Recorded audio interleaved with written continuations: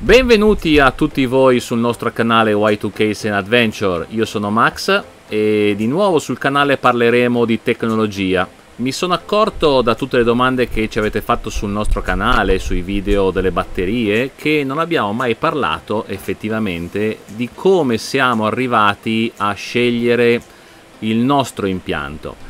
Quindi in questa serie di nuovi video, eh, che saranno prometto abbastanza brevi, quindi magari ne faccio qualcuno di più ma li faccio più brevi, voglio raccontarvi come era la situazione all'inizio, ovvero come siamo partiti da questa situazione, quindi con alternatore vecchio, batterie vecchie, tutto, tutto in originale, e come ho deciso di eh, passare alle batterie a litio e cosa cambiare o come eh, configurare o cosa installare per lavorare al meglio.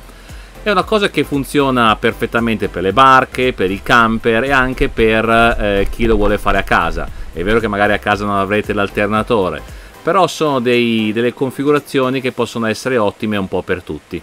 Siamo da poco tornati in barca, siamo alle Figi, per chi ci segue sul canale, e vabbè sentirete in sottofondo purtroppo un, un rumore che è il ventilatore per cui fa veramente molto caldo e sto facendo questa cosa di pomeriggio ma è veramente caldissimo e quindi ho bisogno di un po' d'aria altrimenti comincio a squagliarmi davanti alla telecamera.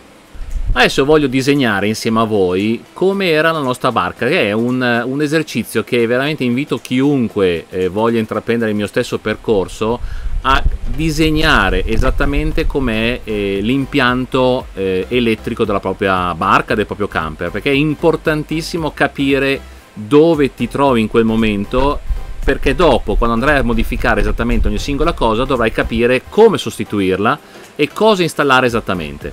Quindi con l'ausilio del tablet adesso proviamo a, a, disegnare esattamente un po' tutto. Ok sulla nostra barca cosa avevamo? avevamo una batteria al piombo in realtà erano più di una quindi una batteria 12 volt questi sono la batteria dei servizi avevamo 540 ampere ora. Cosa avevamo ulteriormente? Avevamo come abbiamo ancora adesso una batteria motore più piccolina chiaramente. Questa è 12 volt sempre ed è da 110 ampere ora e la chiamiamo appunto motore e quella di avviamento in più noi sulla nostra barca abbiamo anche un ulteriore banco batteria che è quello dell'elica di prua che sono 200 ampere io dico elica. Non tutti ce l'hanno ma vediamo, vedrete più avanti che averla o non averla cambia ben poco.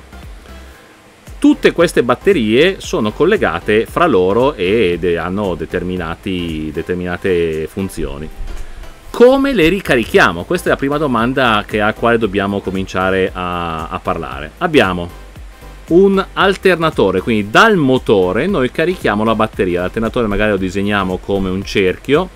Io ho un alternatore a 12 volt, 80 ampere. Cosa carico con questo alternatore? Eh, io vado a caricare tutte e tre le batterie, caricavo tutte e tre le batterie contemporaneamente. Quindi avevo una scatoletta che praticamente separava la carica che arrivava dall'alternatore, quindi l'alternatore andava a questa scatoletta e poi questa scatoletta caricava tutte e tre le batterie. E qui disegniamo. Era praticamente un isolatore con ripartizione di carica. Lui cosa faceva? Caricava praticamente tutte e tre le batterie allo stesso identico modo, quindi arrivava corrente dall'alternatore e in base a quanto fossero scariche le batterie mandava comunque la stessa identica uh, potenza. Quindi se il mio alternatore dava 80 A, che non le avrebbe mai dati, facciamo finta che dia 80 A, tutte e tre le batterie erano cariche, avrebbe dato a ogni singola batteria circa 25 A poco più, poco meno. Quindi quando poi la batteria delica di prua o la batteria del motore cominciavano a essere cariche, perché sono quasi sempre cariche, quasi tutta eh, la, la, carica che arrivava dall'alternatore sarebbe andata direttamente alla, alla nostra batteria dei servizi. Cosa abbiamo ancora per caricare la, la, le nostre batterie? Io avevo anche un carica batterie da 220 volt per quando siamo collegati a terra. Quindi quindi 220 volt riceveva un caricabatterie da 80 A. Questo caricabatterie aveva tre uscite dedicate, una per la batteria eh, dei servizi, una per la batteria motore e una terza per la batteria dell'ICA di prua. Nel tempo poi per eh, caricare ancora la batteria dei servizi installai un, eh, un impianto fotovoltaico quindi con i suoi regolatori. Adesso è poco importante dire quanti ne avevo e poi lo analizziamo nel dettaglio quando parleremo del solo del solare. Quindi avevo un impianto solare che mi andava a caricare solamente la batteria dei servizi. Allo stesso modo avevo installato un impianto eh, a vento cioè che con, con un'elica caricava il, le batterie quindi un wind generator. Quindi quello che chiamiamo wind sempre a 12 volt, che mi andava a caricare sempre e soltanto la batteria dei servizi. Noi abbiamo fatto sempre la scelta di caricare sempre e solamente le batterie dei servizi. In più, per complicare ancora la cosa, abbiamo installato pochi anni fa, prima di partire, abbiamo installato anche un eh, caricatore ad acqua, quindi un idrogeneratore. Questo non è altro che un piede che viene immerso con un'elica nel mare e quando navighiamo solo a vela c'è un'elica che gira trascinata dal, dalla, dall'acqua e quindi crea energia.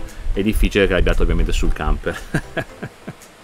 Disegnato in modo anche rozzo come l'ho disegnato io, è estremamente importante, ci dà subito un colpo d'occhio per capire cosa abbiamo sulla nostra barca, sul nostro camper e riusciamo a capire anche esattamente cosa potrebbe servirci per il futuro.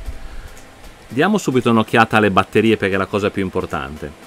Noi qui abbiamo, nel mio caso, tre tipi di batterie diverse. Abbiamo detto la batteria dei servizi, la batteria del motore avviamento e la batteria delle di prua. Adesso quest'ultima tralasciamola un secondo perché nella maggior parte dei casi non ci sarà e come ho detto prima non è un, una grande differenza averla o non averla e lo, nel momento in cui parleremo di come ho separato l'impianto per caricarla affronteremo per chi è interessato solo questo argomento per il terzo banco batteria. Da ora in avanti andrò avanti soltanto per caricare due banchi batterie che è un po' diciamo il, il classico impianto di una barca di un camper. Nel mio caso i 540 A erano batterie AGM che poi state cambiate anche batterie al gel, quindi comunque tecnologie eh, diverse da quelle del litio. Questo perché eh, lo voglio specificare? Perché ha un tipo di carica, un tipo di carica diverso da quello che sono le batterie al litio. Il motore era una tecnologia AGM. Entrambi quindi potevano essere caricate allo stesso identico modo, entrambi i banchi batterie.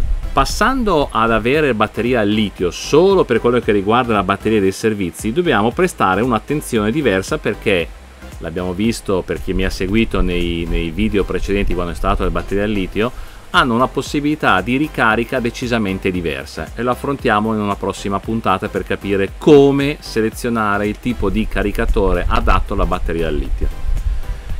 Quello che volevo porre l'attenzione è di questi 540 A che io usavo, che fosse AGM, che fosse gel o che fossero batterie al piombo, normalmente per dare eh, diciamo per, per non sol- sollecitare al massimo le batterie si possono utilizzare fra il 30 e il 40% che è già tanto della capacità della batteria.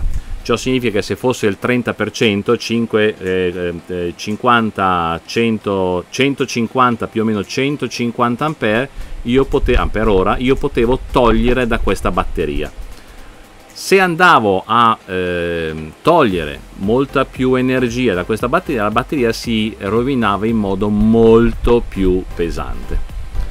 Adesso nella prossima puntata affronteremo eh, come calcolare i consumi che abbiamo a bordo o che abbiamo sul nostro camper. È estremamente importante per capire come massimizzare al massimo la nostra nuova batteria perché potremmo anche pensare di prendere una batteria più piccolina di quella che attualmente abbiamo, cioè ovvero 500 Ah, visto che ne consumiamo probabilmente 150-200 al giorno, oppure prendere una più grande o uguale perché vogliamo utilizzare altre cose. Per esempio nel mio caso ho voluto utilizzare un inverter molto più grande per far funzionare delle attrezzature, vedi la macchina per fare il pane, vedi la lavatrice, vedi la macchina per l'espresso, ho voluto utilizzare altre cose quindi mi sono tenuto abbastanza abbondante nel voler utilizzare il tutto per voler utilizzare, la, la, per utilizzare tutte queste cose che ho installato. Questa prima puntata è finita spero vi sia piaciuta. Eh, se vi è piaciuta lasciate un like mi fa sempre molto piacere o lasciate qualcosa nei commenti. E ci vediamo alla prossima puntata la numero 2 per il calcolo dei consumi di bordo